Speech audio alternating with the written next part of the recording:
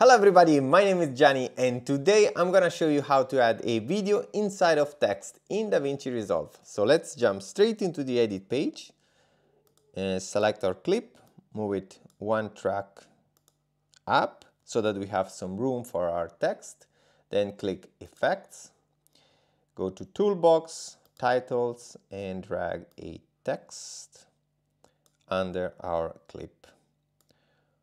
Let's make sure the size is the same. And now we can select our text, open the inspector and customize our text. Now to make the text visible, let's just disable the video. Here we have our text. For this example, I can type surf, change the font to something bold, let's say impact, and increase the size to something, something like that. And now, when we are ready and we have the uh, text, we just have to enable the video, go back and select the video and change the composite mode from normal to darken.